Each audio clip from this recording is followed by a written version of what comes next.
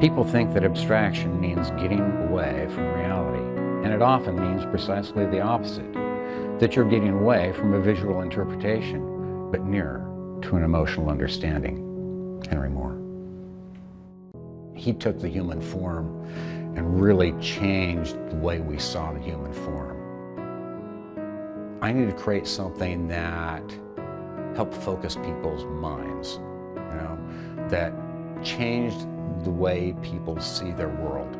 You know, in order for us to grow as people, we need to be able to change our paradigms every once in a while. I think it's very important. How do we grow and express ourselves in new ways if we don't stretch out? And so I figured that's one of the roles of my art, is to help stretch people.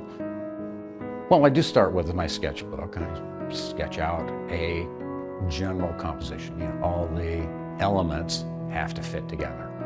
If I've planned it out too much, that uh, you know the work doesn't have as much life in it. Half of being an artist is having an idea. The other half is figuring out what to do when it doesn't go turn out the way you expected.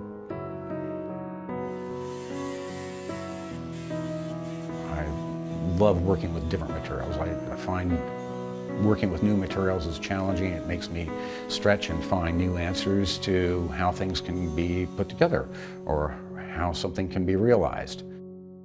So I try to find ways to reuse things that I have. You know, it's like the magazine sculptures, and I stared at this stack and I went, hmm, you know, this isn't trash. This is a raw material. If it's a raw material, what can I do with it? And I said, okay, well, maybe they can be carved.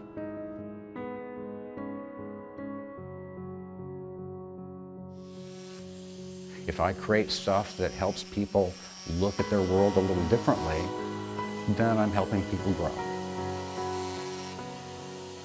And that's one of the things I like about abstract work because it allows people to to use their own filters. They have to, it forces them, them in a way to reevaluate how they're looking at something.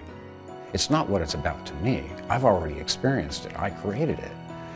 What's more important is what it's about to you.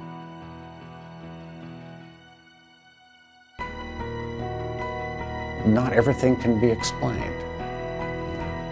Some things are experiential. You just have to find things out for yourself.